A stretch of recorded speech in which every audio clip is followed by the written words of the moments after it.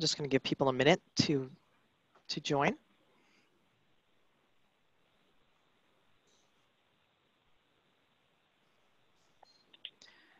Welcome to ARMA International's webinar, Capture and Digital Transformation in a Work from Anywhere Environment.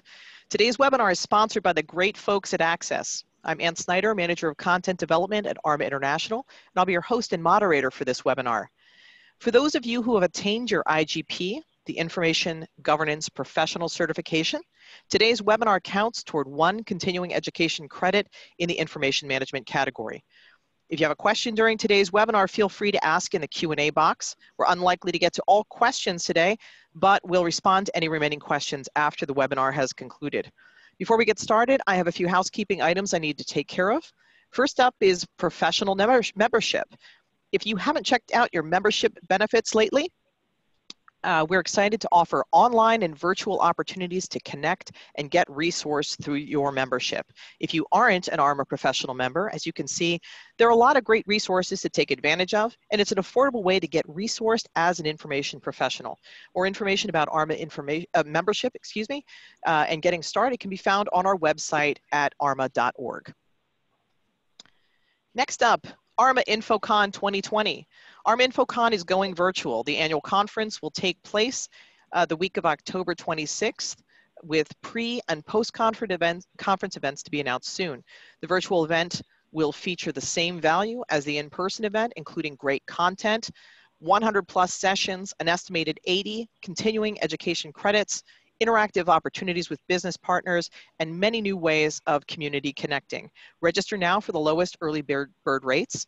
This is a must-attend event, includes compelling keynotes, industry roundtables, best-in-class sessions, on-demand learning, and creative ways to connect with peers and industry partners. Without further ado, let me introduce our panelists. We're thrilled once again to have a fantastic speaker lineup. We're joined today by my colleague, Nick Inglis. He's uh, known to almost everyone on this call, I'm sure. He's the Executive Director of Content and Programming at ARMA International. He is an author of uh, the information, the comprehensive overview of the information profession, and countless other articles. Uh, he has been hard at work these last weeks building some great content for InfoCon 2020. Welcome, Nick. Thank you. You're too kind. So we also have two uh, great subject matter experts from Access. I'll let them introduce themselves to give them an opportunity to tell us more about the, the work that they're doing. Let me welcome Kurt Thies and Steve Neilly. Thank you. All right, so uh, I'm Kurt Thies. I'm with uh, Access and uh, I'm the, uh, the first product evangelist for the organization, which is a, a unique and singular role. Uh, I describe it as uh, having the opportunity to gather and share insights uh, with our customers and within our organization. Uh, I've grown up in, uh, in this community of, of, records and information management professionals. I'm sure there are a lot of familiar faces out there uh, attending this conference and started off working in a records department, then started developing software and technology solutions, and have really spent my career focused in that area. Um, so I'm excited to uh, participate in this conference today. And good morning. I'm Steve Neilly. I'm the Consulting Services Vice President. Um, I've been in this industry for 30 years now. Uh, the first 15, I was an in-house records and information manager, um, also a privacy officer. And the last 15, I've been um, in the consulting side of the business. Um, I'm certainly focused on helping clients with their retention schedules, uh, privacy assessments, uh, records program assessments, policies and procedure development, training, um, anything to do with records and information management. I've probably touched it, uh, as well as touching a, a, number of verticals. So everything from education to oil and gas, pharma, banking, you name it. I've, I've probably had a client that's been in those industries. So I'm looking forward to sharing some information today, and and I'll turn it back to you, Ann. Thanks. Great. Thank you so much, Kurt and Steve. So today, uh, today's discussion builds on a webinar and white paper that we developed with Access last year. Uh, the webinar, Information Governance and Digital Transformation Must Begin with a New Understanding of Capture, and the corresponding white paper are available at arma.org, but we'll make sure that we include those links uh, in, in the, to links to those resources when we distribute the recording from today. We're revisiting this topic and building on the material in light of what all of us have faced in the last few months and continue to face during this pandemic. If your organization hadn't previously undergone a digital transformation, you received quite a wake up call recently. And if you've already started this process, the last few months have exposed the holes that still remain in the ways that we work when we work remotely. In short, working remotely out of necessity has opened our eyes to the constraints and costs of being tied to a physical workplace, uh, being tied to paper-based processes, as you know, including our active and legacy paper uh, records. It's also, though, opened us to the possibilities of being able to have an office essentially anywhere. This concept of working from anywhere. We'll start today by defining capture, uh, what we mean by it and where it fits within the information lifecycle. We'll move to a definition of digital transformation. That's a, you know, that's a term that, that means different things to different people. Um, and we'll look how we've responded to this crisis and, you know, have we actually undergone a permanent shift? Is this a paradigm shift or will we resume working the way we used to before the crisis? We'll look at some of the stages of, of adaptation uh, to working remotely and what we can learn from that uh, to build a successful transformation, a digital transformation strategy. So if you haven't gotten started, how you can use what other people are doing in the field um, and, and learn from that.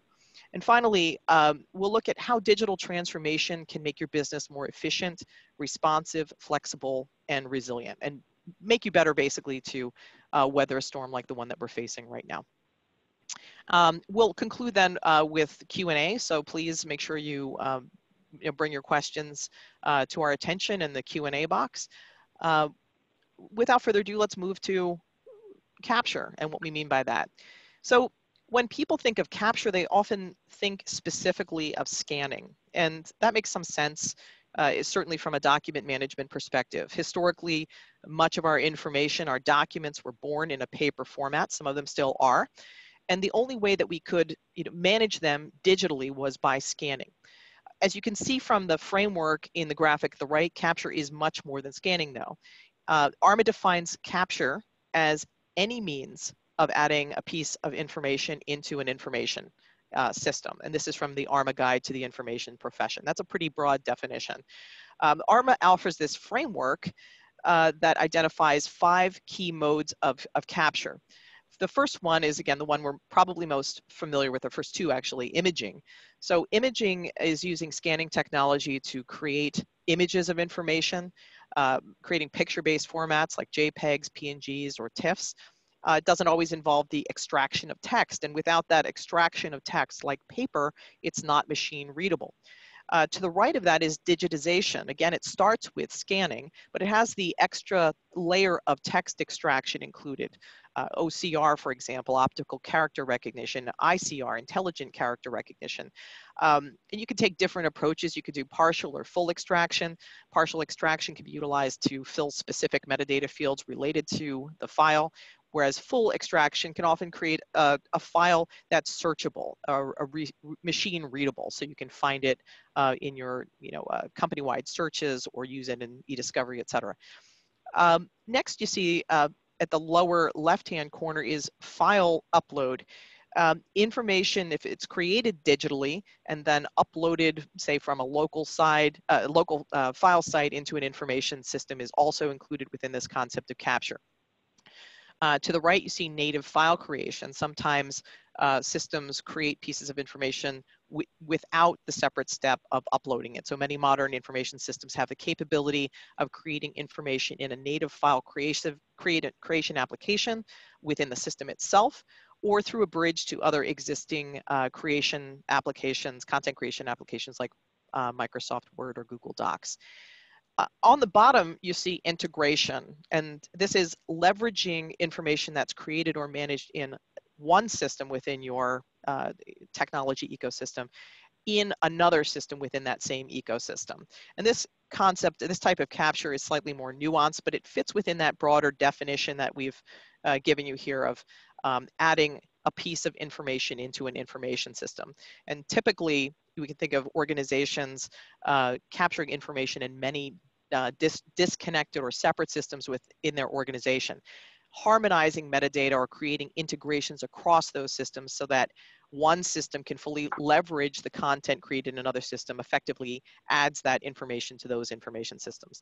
Um, and so uh, we consider this activity within um, our concept of capture. Kurt, I know you had some thoughts on, on integration that you wanted to add.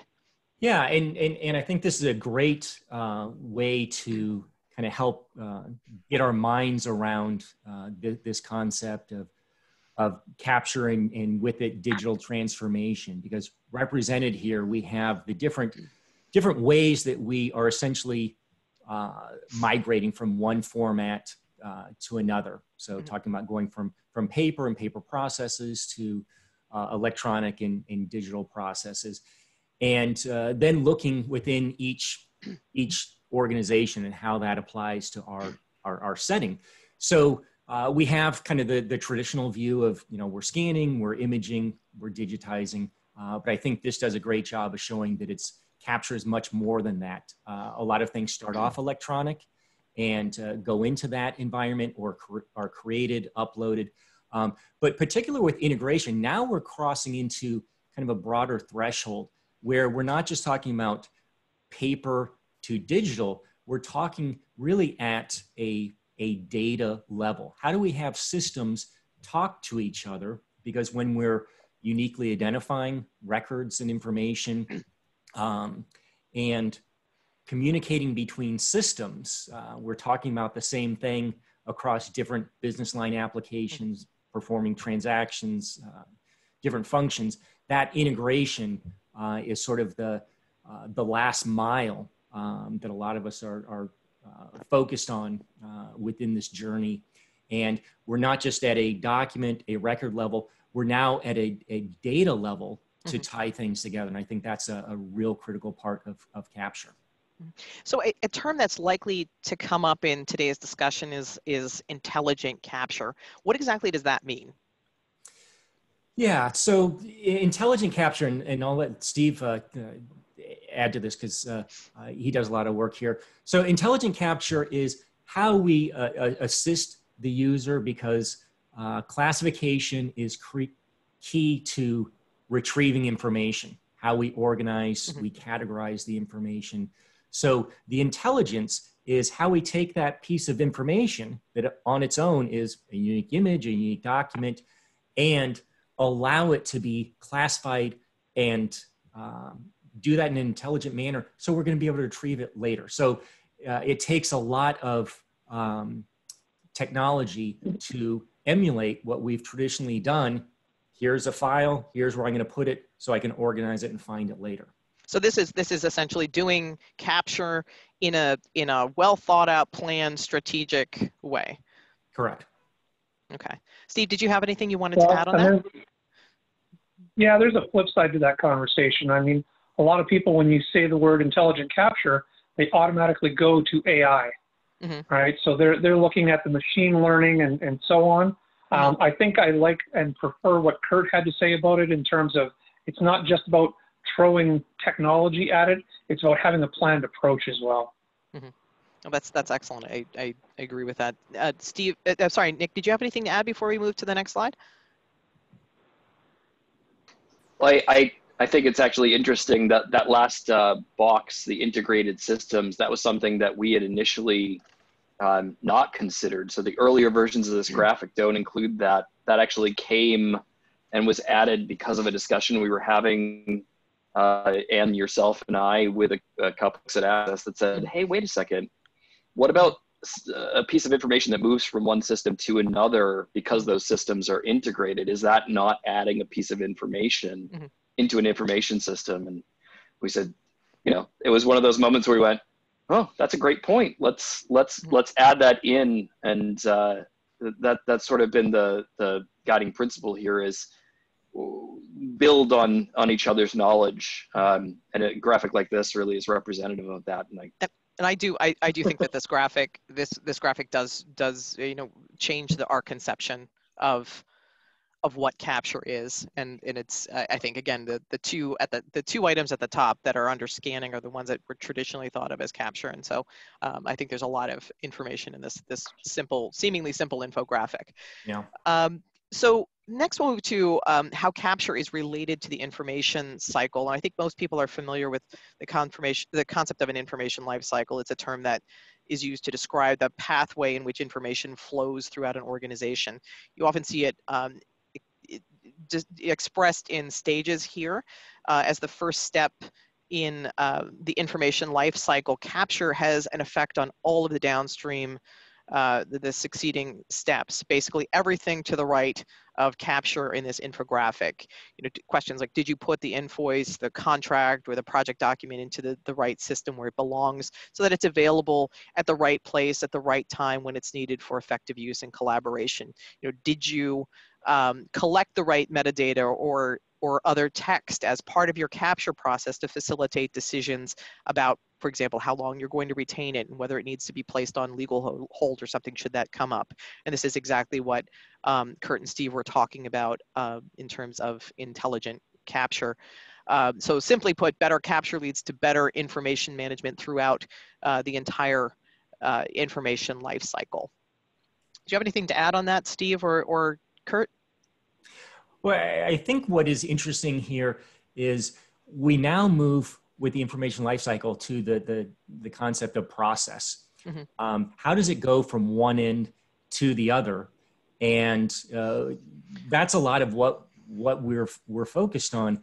You create and you use information, then you store it, and then you retrieve it. And it's in that, you know, when am I using it? When do I need it? How do I find it again? That uh, the, the the complexity comes in. And if you look at it from a industry perspective, uh, what does it mean if I'm an insurance company? So I'm creating policies and I have claims. What's that information lifecycle and that process looks like look like versus another industry? Um, and that's where we kind of drill into uh, the behavior uh, mm-hmm. of this life cycle and some of these life cycles you're, when you're speaking about the the industries too i think it's interesting that some of those life cycles are incredibly long. Uh, pharma is you know life of life of product plus 25 years so that's longer than many of us are going to be around probably. So uh, you know it's just it's it's it's a long term uh, it's a it's a long game. We say ig is a long game. So um, steve i think you had well, something to add there sorry. The initial, yeah depending on the initial media if it's a, a hard copy capture might not be the first thing. It might be somewhere moved down that line because we're going to go to that digitalization process mm-hmm. and, and bring it into our electronic system. So although we've started off, and I, I think generally speaking, this is a correct model, that capture could also be somewhere else on, on this continuum as well. Mm-hmm.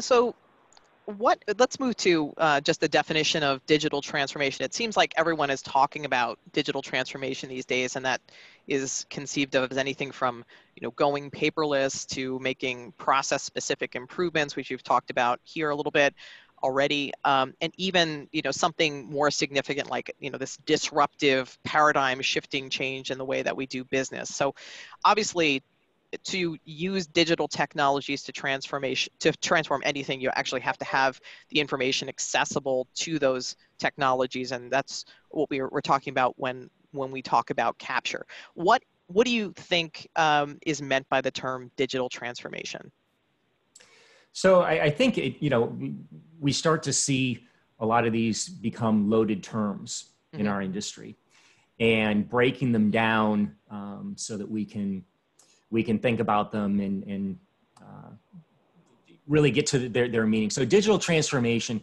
um, you know, we're essentially talking about going from, from paper to electronic format. Mm-hmm. And in doing that, uh, like we, we looked at on the last slide, it's a change in the process. There's a way that we manage paper um, and, you know, our record keeping practices really originated there. We have paper, we put in a container, we file it, um, mm-hmm. We have a methodology, we retrieve it. That's very different when it's electronic, and we mm-hmm. have to think about it uh, differently. But there are a lot of advantages. And I think as, as we're focusing here, uh, the pandemic has really forced um, and, and surfaced the fact that um, we we are operating remotely. Uh, digital transformation is now a, a necessity, and it, it shows where we are in that uh, that maturity um, or or journey. And you know we're we're faced with the, the consequences um, right now. So it it gets us to a, a different way of uh, managing a process and the the information. Um, once it's digital, we can we can do a lot more things with it. We can put it in the cloud, we can distribute it, um, we can access it, um, and you know we're trying to focus on how we get from one end to the other, and then we, what we do on that other side. Just out of curiosity, in, in terms of the differences between you know how how people manage information, I know that you know we had we have pretty thoroughly established approaches to handling you know our paper records, and there's a certain rigor around that that I, I don't always see when I'm working with people on their digital records are you know that that it seems easier. Yeah. it's it's uh, it's available. It's it's already in the digital system and so they think there's not there's not much more to do with it. And so you know making sure that you're you know capturing that surrounding information so you can find it later uh, is sometimes you know not given the same thought that it's given for paper. Is that what you're seeing out there in the field as well? Yeah, I mean, I've had clients over the last number of years before all the pandemic hit wanting to be paper less, mm-hmm. not not without paper, but paper light maybe is the better term. And that that transformation has been overnight because the clients are now realizing, look, paper light isn't going to work for us. We we don't have the ability to move that little bit of paper that we had around. Mm-hmm. So we're going completely digital and what that's done is it's it's taken the ease of being able to walk over to a file cabinet or a file room and put your hands on that document. Now we have to have better ways of describing the documents, so better metadata standards within the organization. We have to have you know systems and structures to organize these. You know they used to be in alphabetic order or numeric order on the shelves. Mm-hmm. Well, now we've got to have that same structure, that taxonomy, placed into our electronic environment, or we've got to have great search tools. And now that can be a variety of things. I mean, um, so yeah, it's, I think the digital transformation is, is forcing people to think a little bit more about how they actually describe their records. Because as Kurt said earlier, it's, it's not about putting it away. It's easy to put it away. It's getting it back that's the trick. Yeah. Um, so we have to make sure we have the right tools in place to be able to do that. So just let's keep moving here. We have a, a ton to cover. So how is uh, is capture a first step both in, in information governance and uh, digital transformation? We've already talked a little bit about how it's the first step, but let's just tie, you know, tie these concepts together. Yeah, it, I mean, it kicks everything off, right? I mean, you've got to have all of your metadata standards and, and all of the information governance pieces, mm-hmm. um, controls, security, uh, descriptions, all those things that are going to come out as part of your overall governance plan and that's where capture is going to, to initiate all of that. It's, it's going to kick the process off because without good capture, um, the rest of it is going to be a mess. Mm-hmm. And I, would like to emphasize that I too that that the considerations that you're making as part of that intelligent capture are not just about retrievability, which is a key part, but also about the security and access controls under there. I think that's something that, you know, again, people, if you think of capture as just scanning, you're not you're not getting the whole picture that it is really the first step here in this this entire information lifecycle so that everything that needs to be part of that um, needs to be part of that initial consideration uh, when you when you first put the information into the system. I'm sorry, I, I cut someone off there. Nick, was that you? Sorry about no, that. I do this no all worries. the time to him. He, he tolerates it for some reason. I, I like Kurt and Steve's explanation of uh, the, their thoughts around intelligent capture because what what you're saying is essentially look at the purposes for which you're going to use that information later on so that you can make the appropriate decisions about that information from the moment it's it's going to be captured.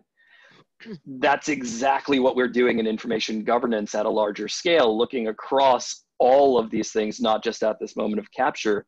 So if we're looking at the, the world of information governance as being uh, this, this, this large thing, intelligent capture is looking at that one piece, capture, through the lens of information governance and the way that it, it was described there. And I think that's a great positioning for it because a lot of people look at information governance as this huge thing that is challenging to achieve because frankly it is.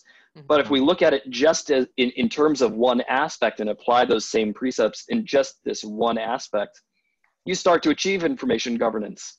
Mm-hmm. So that's I, I, do love that positioning. Um, yeah. Yeah. Are we hearing a different term for intelligent capture is basically strategic capture? Uh, ties it up with IG then. I I like that positioning.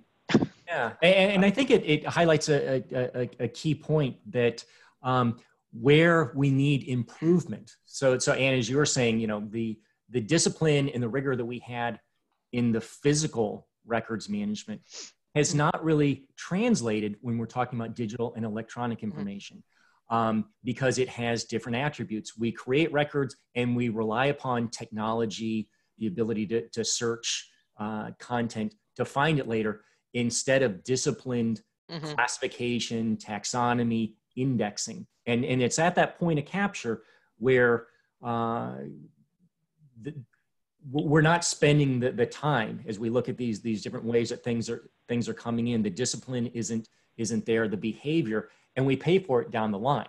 Mm-hmm. So the pandemic now is showing, okay, whoops, we can't find something because the way that we captured it didn't didn't have the right uh, methodology in that process. And I don't, I, I mean, what I'm seeing so far is that the search, you know, this reliance on search, we think we can just, you know, punch in the words we're looking for that yeah. it's, it's not keeping up or at least not producing the, the results that we want. We still need that sort of mental structure, um, you know, and I, I, I, argue with people about this all the time is, you know, our, do we need file folders and that, that kind of structure and taxonomy? And maybe not um, functionally if we have good search technology, but mentally as human beings, we need it to to help us understand where we put our things.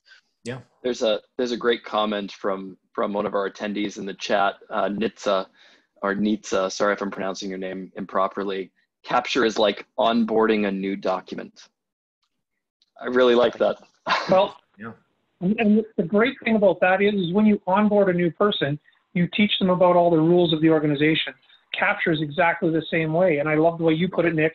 I mean, we've got to have the information governance infrastructure there. We've got to look at security. We've got to look at privacy. These days, we're taking people's temperatures as they walk through the door. Privacy is a huge consideration, right? So we've got to be able to apply all of this right up front um, in our in our taxonomies, in our classification schemes. All that has to be there. Yeah. So let's let's turn to the the the sort of the elephant in the room, which is you know the pandemic that we're all um, you know, in the I, I want I wanted to say in this webinar that you know that we've just this this process we've just been through, but it seems like it's going to be around for some time. So how is how is working from home and and living remotely, including you know doing you know uh, zooming on doctor visits, cocktail hours, and visits with friends and family, how has that changed? our perspectives and and i think we we had when we were talking about this we we saw it as going through you know several different phases the sort of immediate response the settling in and then and sort of the the now what. So can we start uh, just first with with what's what's our immediate experience? And it just just just to talk about what our shared experience has been um, in this new environment and what what it tells us about uh, you know uh, how how we can work differently. Yeah and i i think that i mean this is the the the, the forcing function. We're all living this same experience universally. It's a very odd time. Um, and even the fact that we have an acronym for, for working from home, we're all working from home now. This is something that, you know, the, the second week in March, everything changed. No one knew, you know, before March uh, 11th what was going to happen um, the, the, next week.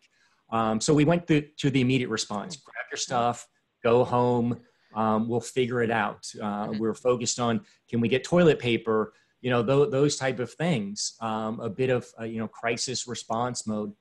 Then you know we we were thinking, all right, well, is this going to be a week? Is this going to be two weeks? Mm-hmm. We went through the settling in phase, and we started realizing, okay, we had you know how do we use uh, Zoom? How do we use Teams? How do we continue on with with business? And how do we start figuring out um, our, our processes today?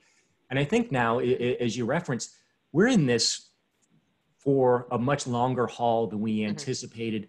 And we're also now having time to reflect and realize it's not really going to go back to the way it was before. Mhm. This has been a, a grand experiment in many ways. Um, and I think that's kind of the, the intrigue.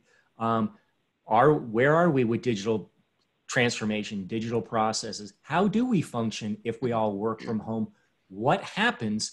We now are seeing those results. Um, and it creates an opportunity because uh, we found a lot of, uh, you know, we've gone through adoption. We know how to have, like we're doing here, a, a conference with a thousand people remotely and online. We figured out how to do that. We wouldn't have done that before. We're figuring out the same things with our daily jobs and our, our, our work efforts and how to leverage these tools. And I mean, one thing we, we, we also talked about, in, you know, as we were preparing for this is that we, we found people didn't have the kind of personal in, infrastructure available to them. We, we talked about the concept of technology deserts Yeah. that people just didn't have the setup at home to support this. But we, I think we also saw that um, even for organizations. I, I had an experience of trying to um, assist my my a family member with uh, a, you know a hearing with a government agency, and they just were not equipped to send paper documents. So They're no longer working in an office, and they they didn't have a system to effectively send me those documents electronically, or even the ability to you know react to um, a system when I, I gave them a, a way to, to transfer the files to me. They, they didn't have a way to fit that into their policies that would allow them to send the documents to me in that way. So are you seeing similar things? Well, I, I think it's very interesting because this this pandemic has hit at a certain time and place, and we are pretty well equipped to carry on. Mhm. Uh, if this had happened just ten years ago, I mean, look at the the Mhm. span of uh, of time. Ten years ago, would we have had smartphones? Would we have had the bandwidth? Could we have had this video conference uh, when we're you know we have dial up modems? Um, it's a very recent uh, stage that we have the, the tools, the infrastructure, the technology uh, to be able to do this. And Mhm. so, looking at the continuum of, of records and information management, we're at a new stage. There are new Mhm. capabilities, and it allows us to then look forward. How do we take advantage of this? It's a new paradigm. Let's let's leverage that. So I mean, that's, and that's it's, true. funny, one of the, Sorry, go ahead. Sorry, Steve. Sorry, go. Sorry. No, go ahead, Steve. It's okay. I was just going to say, it's funny you say, you know, that, that paradigm shift because one of our, our attendees here has mentioned, you know, something as simple as collecting the office mail. Um, even as, as a, as a vendor, we've, we've responded by offering that type of a, a centralized service. We'll go in, pick up your mail or have it redirected to us, scan it and, and put, put it into a place for the client to access. It's changed how we even do business, Mhm. um, you know, to, to right to the basics. Uh, one of the other people said here, it's, a, you know, a force of growth. And I think that's absolutely a true statement because I've, I've been watching our clients slowly migrate to less and less paper. Well, this has pushed us in an overnight way into almost no paper. Right? Yeah, there was. I think my my favorite thing that I've I've seen in re- regards to to digital transformation of late is uh, a post. I think it was by Theo Priestley, um, where he said, "Who who led digital transformation efforts in your organization? Was it your CIO or was it COVID nineteen?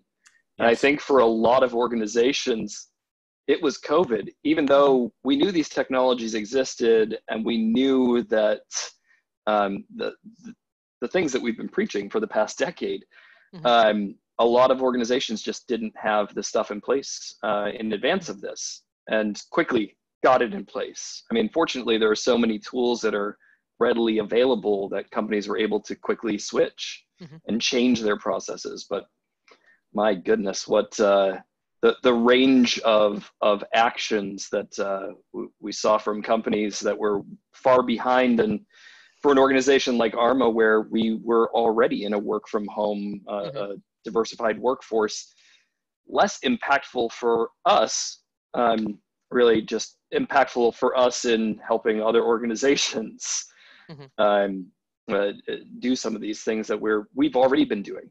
Mm-hmm. Yeah, and I think that's that's the shared experience that you know all of us uh, on, on this call are are going through, and even like you know we we've been using Teams for uh, a long time, but we use it as a a teleconferencing tool.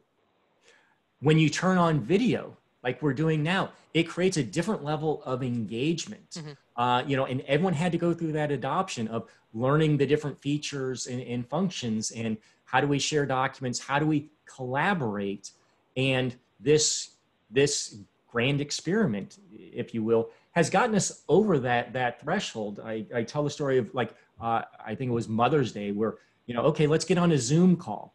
Mm-hmm. Well, teaching your parents how to use Zoom for the first time takes a while. But pretty soon it's like, oh, you know, can we get my sister on it? Oh, my, what about my niece? And she's in a car. Okay, she can dial in on the phone. Pretty soon we've got, you know, a dozen people on this call. We ne- the technology was there. We'd never done it before. Mm-hmm. Now we know how to use it. So just uh, the question I have is, is, you know, so we've seen, we, we, we've had this technology, there's been uh, it, it's hard to get people to adopt it. And now we finally have, uh, you know, what seems to be an understanding of the importance of it. Is this, do we think this is really a paradigm shift? Will people move to this technology? Um, or are we going to sort of go back into our normal performance? We often see that uh, you know companies will respond to a crisis. Um, that's the impetus for you know you know cleaning up something or you know adopting a new technology then shortly thereafter they go back into um, their old ways of working so is this a paradigm shift uh, or um, or not what are your thoughts on that well i, I think there are certainly um, going to be some major shifts in how we operate on a daily basis we now know that people can work from anywhere they don't have to necessarily be in the office that said I still think there's that missing piece that people still want that one-to-one contact. As much as the videos are great, it's not as not the same as being in the room and having a discussion with somebody, reading their body language, you know, and and, and being up close and personal, as it were. So I think there's going to be a, a balance. I think yes, we will see a major shift in the adoption of the technologies, and and honestly, in the change in how the workforce is put together in an organization. Now I know if they can work from anywhere, I don't have to hire somebody in this town where the rent might be $3,000 a month. I can mm-hmm. hire that person who's paying $1,200 a month way back there. Um, it's going to change things for sure. And, and I think that uh, those are great points. And I, I tend to be on the this is a paradigm shift. It's not going back. Um, to, to look at the opportunity that that, that creates um, to kind of force our, our mind to think we, we now have learned that what is possible. And, I, and, you know, like most of you guys, I've spent my, my career on the road. I'm traveling and where the customer is, you know, where mm-hmm. you need to be. Um, this is the longest I've ever, you know, stayed at home, mm-hmm. stayed, in, stayed in one place. And you sort of adapt and you create these different um, processes and engagements. But we are seeing that the, the concept of the office that we all grew up with it's probably gone. Just like mm-hmm. you know, retail. Uh, we're buying things online. Do you still go to a store? Um, we're seeing everything change, mm-hmm. and those companies that are using this to transform, to adapt, mm-hmm. are coming out much stronger. I look at restaurants, and some people have figured out you can order online, you can uh, get a pickup service. They have the tables outside, and then the other restaurant is closed.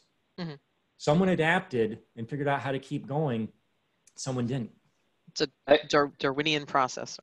I, I think there's probably a generational thing here too. Uh, as people that have been more comfortable in offices for most of their lives, I think some some of those folks will feel more comfortable going back to an office later whereas folks that maybe have less experience there they're building their experiences right now and probably future generations will be simply working from home may not ever have a, an office experience. Mm-hmm.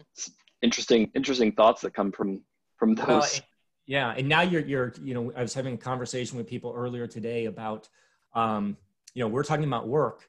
This is impacting all of our children. And the educational system where they're having to deal with it not about their their work process, their educational process. Mm-hmm. How do they bring that remotely?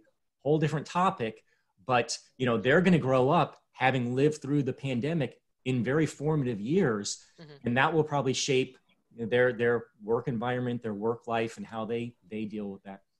Yeah, I, I, I absolutely think this is a, a paradigm shift. Um, I don't I don't think the future of the office looks looks like it's looked in in the past. Um, it, it may take a while for us to get there, though. Mhm. I, I think this is the moment we're going to look back at as the point where the paradigm shift began. I don't know that we've ended at, at, at this moment yet. That paradigm shift. Agree. Yeah. I, I agree with that. So let's let's just um, move on. We're just uh, I, this is a fantastic conversation, but I want to move on to sort of the the promise of what what we can do with this. So, you know, Kurt and and and Steve, looking at your customer base, what are you seeing in terms of how customers are adapting? Uh, I know we talked about there being sort of different phases of this, um, and and what can we learn from those experiences?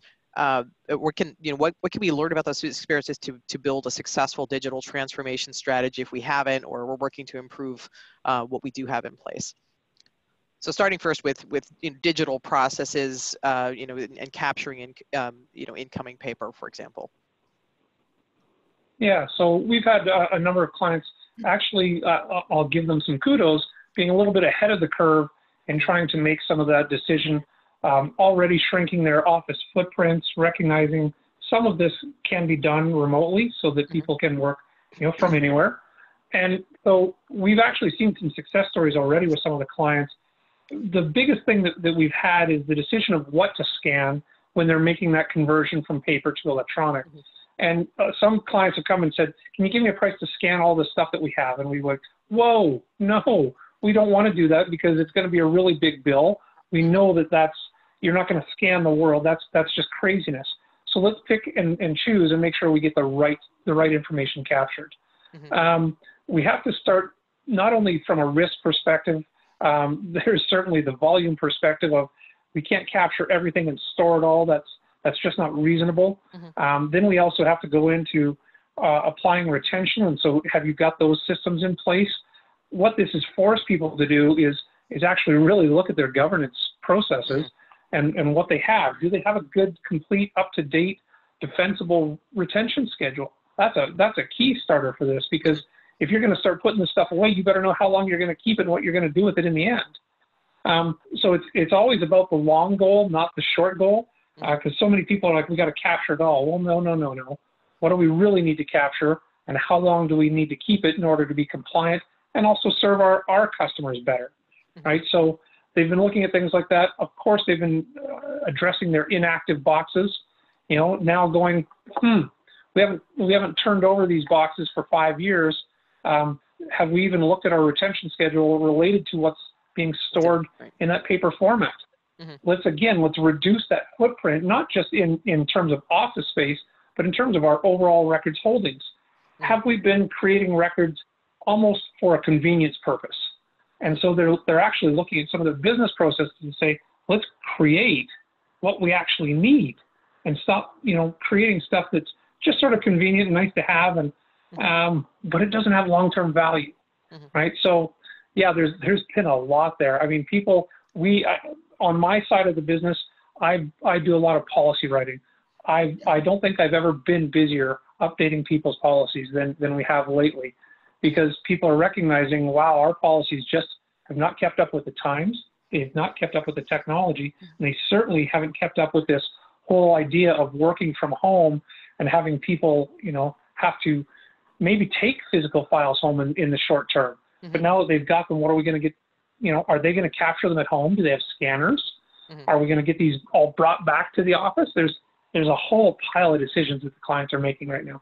Mhm. I like the fact that you pointed out that it's it's not a scan everything approach. It just has the way of, you know, replicating bad records practices uh, in the paper world into the you know digital world, and that just seems like a Yeah. nightmare and a and a, and a remediation project uh, for somebody else down the road. Um. Kurt, do you have anything to add to this? Yeah, I- and I think this is a pretty pretty rich rich topic here because we're seeing uh, as we as we talk to, to customers, um, what what their experience has been, and it kind of highlights everything we've been talking about. Um, when you're working remotely, paper is a challenge. Mm-hmm. Um, you know, look at our business. We, you know, people store store information in, in boxes. Uh, are we going to drive the truck to everyone's house to give them what they, they need? So, you know, our, our ability to scan and deliver it digitally becomes important. That integration into their systems that we talked about becomes very important. And these have been capabilities, but they haven't been really front and center. So we have been we have been surfacing those, and some of the uh, the use cases that kind of kind of crystallize that. If you look at uh, you know law firms, uh, typical you know office environment. We've all watched you know the the L.A. Law and the the, the shows.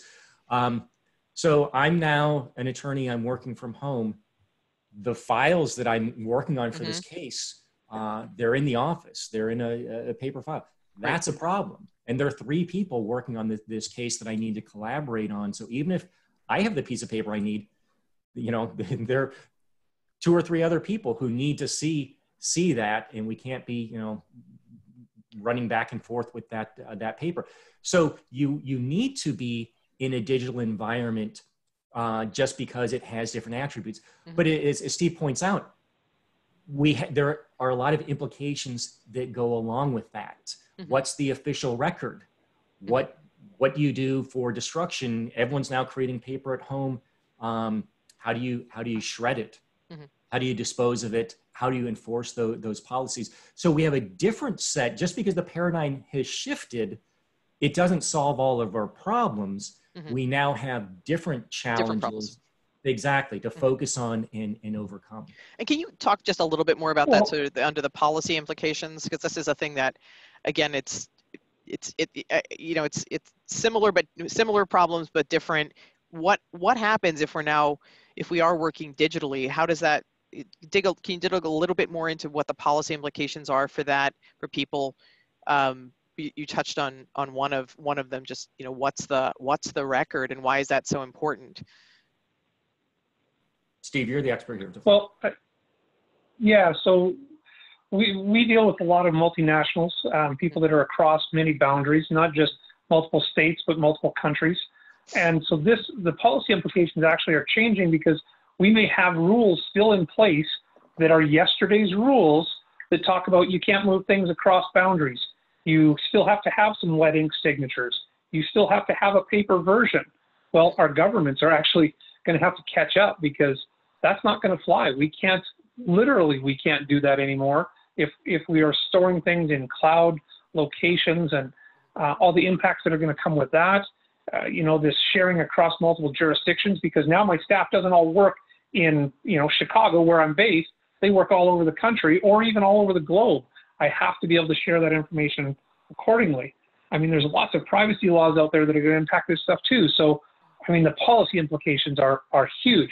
That's why I say I've never been busier than I have been lately with helping clients to update those policies because of exactly that. There's so many jurisdictional things that are going to have to come into play. You you you touch on the privacy the privacy aspects. We haven't even opened the Pandora's box around security of these records. Yeah. Um, there's a comment from from James here. There's a major security issue with people handling records, either physical or electronic, with people working from home. And mm-hmm. yeah, I I I don't know how that Pandora box closes again after this is over. Um, it, it, that requires massive policy changes. I mean, this is one of the one of the yeah. issues I ran with that uh, ran into with the, the the government example. It was how to transfer you know sensitive you know health in this case health health related information without a, a, good system so we needed we needed some form of encrypted sharing and that wasn't you know that wasn't in place so we had to do a workaround wet wet signatures notaries. We saw a, a, digital notary company just become the the latest unicorn uh, startup.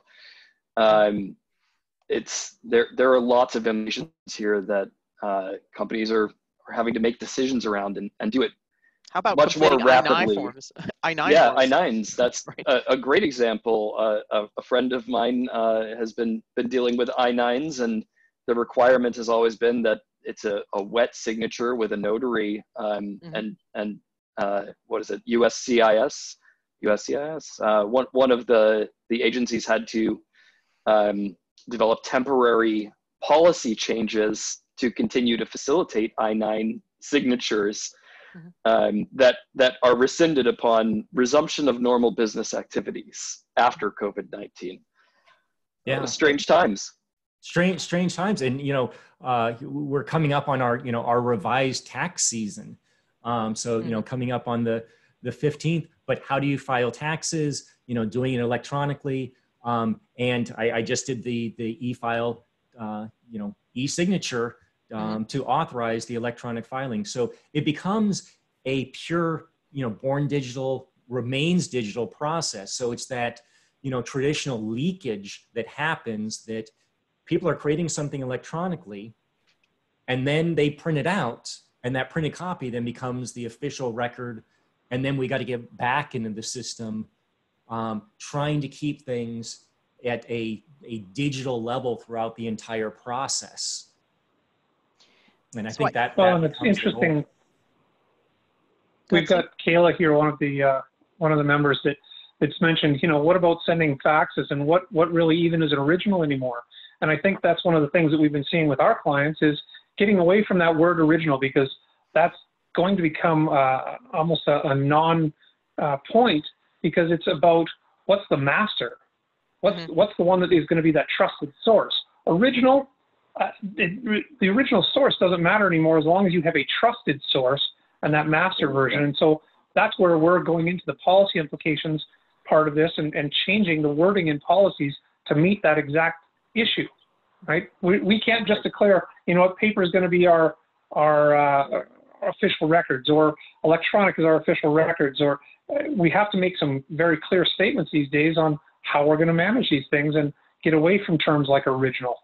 And it's it's it's interesting to me that it's taken till till 2020 and this crisis to get in to really dig into that discussion because uh, you know we've been dealing with electronic records in in the my my my bent is is from the discovery perspective we've been dealing with these for quite some time and what is the real record and being able to authenticate it um, you know so this idea that it's still um, you know i don't know i want to say like uh, just anchored in this paper based thinking yeah. of things and that that's still uh, part of our, our our policy. Wording is is just incredible to me and it's it i think that at least it's a positive thing that can come out of this and i'm really reassured to hear that you're you're seeing people reword those policies. So um, i do want to move on so we can open this up for questions. This is a fantastic discussion and we should really have made this two hours. So um, hopefully uh, if we don't get to all of our questions um, maybe we can you know just sit down and, and go through those together uh, so that we can uh, share them with our with our audience. I, I would like to touch on just you know and i think we've we've discuss some of this. How is how is digital transformation like how does how does having a digital transformation strategy already having that in place or getting one in place improve your efficiency responsiveness and flexibility and resiliency. I think the obvious one that we've been talking about today is if you were prepared um, this this transformation to working from home and doing things remotely was less disruptive. You could you could move pretty quickly through that. Um, do you have anything else to add before we move on to questions? Well, I think it's it's very interesting because you know you've got uh, two two speakers here that come from a traditionally paper dependent business. You know, mm-hmm. we've been Access has been the business of, of storing paper in, in boxes. Um, we we are focused on helping customers transform um, because not only the, the efficiency, um, the fact that that office may not be there, you can't have files um, trapped there. You need to have uh, digital processes to manage the, the information. Um, so it, it, transforms our way of looking at, but also within that, there are not only efficiencies, but cost savings. Mm-hmm. So what is the most efficient model and how, how do we take advantage of that to create a more uh, efficient, optimized process that ultimately is going to save money. Mm-hmm. Well, and I think the, from the responsiveness perspective, obviously people have had to respond whether they liked it or not.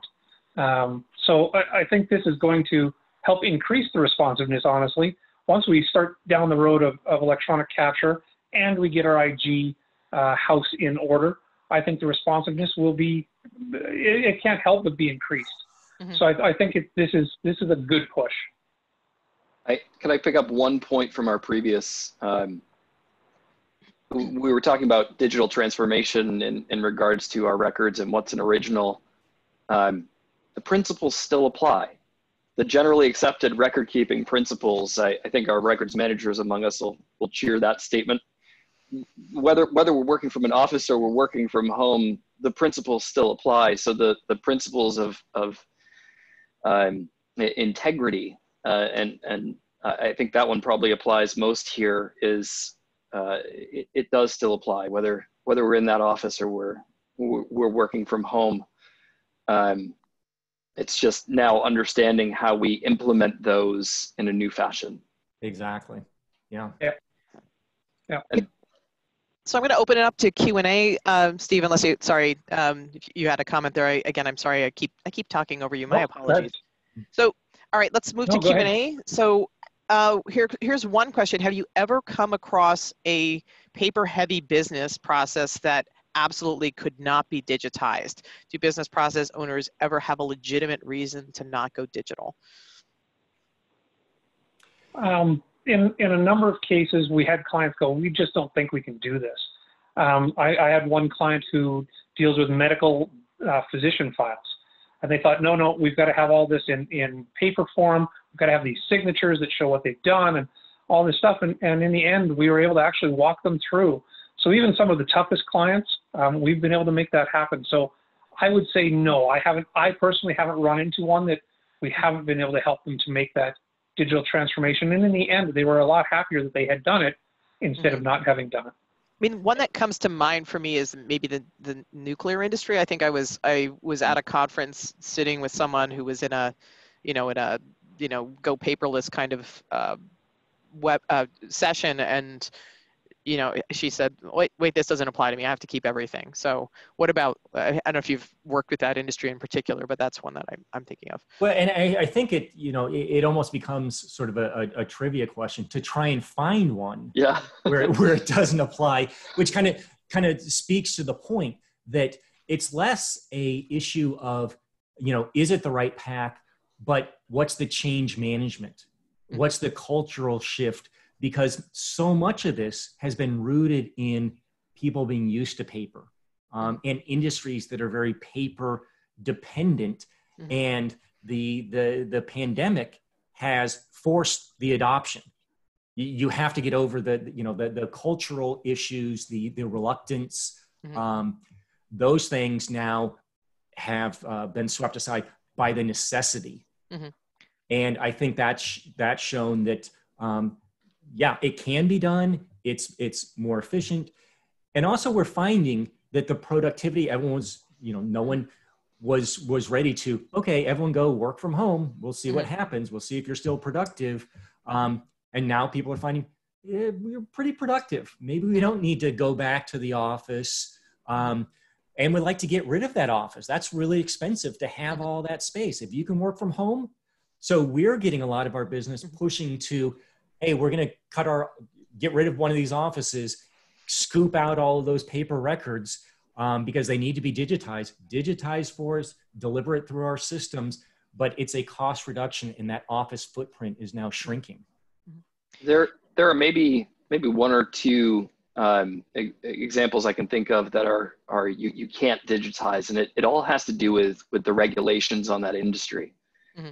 Um, so I I, I think um, this moment in time actually gives us the impetus to say, hey, you know, that outdated regulation that industry X has been saying for decades is out of date mm-hmm. and is, is forcing us to do some really stupid things with information to make sure we meet that compliance requirement. Mm-hmm. Now's the point to push back on the regulators and say, hey, that rule is stupid still. Please change it because we can't do it anymore mm-hmm. because all of our employees are working from home mm-hmm. um, I, I, think there's an opportunity to finally get some of those outdated and antiquated rules off of the books. Mm-hmm. I think I think necessity is going to push regulation changes in the same way that that yeah. Steve and, and Kurt are seeing. It's it's just driving massive policy uh, changes within organizations.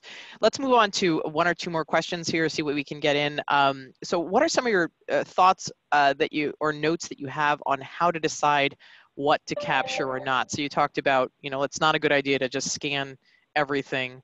Um, how do you, how do you get people to distinguish between what's, what's uh, of value and what isn't?